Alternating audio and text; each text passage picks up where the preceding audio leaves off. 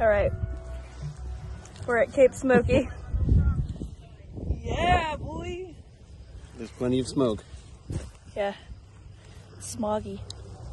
But this is apparently this is the Cape Smokey Bohemian Pilsner. It's made by Two Crows Brewing out of Halifax. You don't get a lot of pilsners in the in the craft brew circle.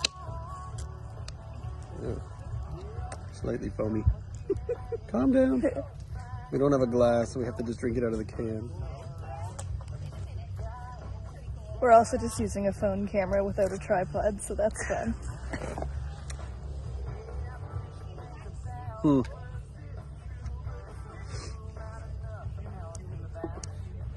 That is a boring, skunky Keith's with no personality. Yeah, it is.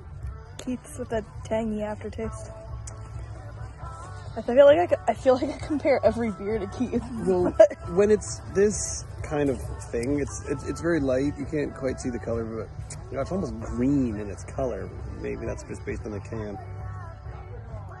It's a 4.9%, 38 IBU feels. Oh, Czech malt and hops. ah, Brewed by double decoction. You can make up words all you like, but it's still just typical for the production. Bohemian Pilsner style beer.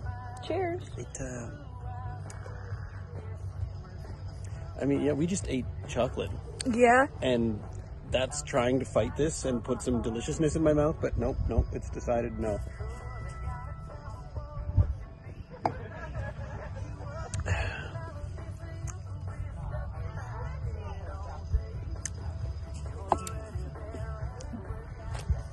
rating.